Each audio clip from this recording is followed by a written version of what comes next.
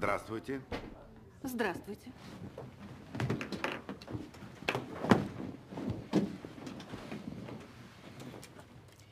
Будем откровенны. 20 миллионов. Сумма, о которой эти люди не могли и мечтать.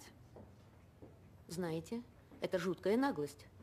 Во-первых, у нас уже набралось более 400 исков, и известно, что пострадавших куда больше. Возможно, это не самые образованные люди, но они понимают, что если разделить 20 миллионов на всех, выйдет пшик.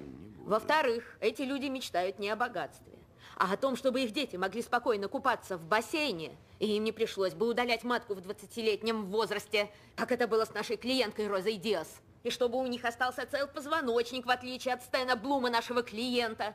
Так что сперва прикиньте, во что бы вы хотели оценить свой здоровый позвоночник, мистер Уокер. Или попытайтесь назначить цену за свою матку, мисс Санчес. А потом достаньте калькулятор и умножьте эту сумму на 100. А иначе вы только отнимаете у нас время.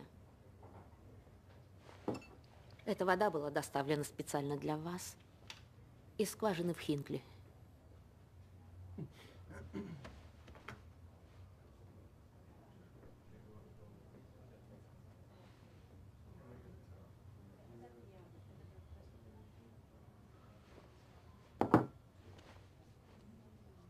Совещание закончено.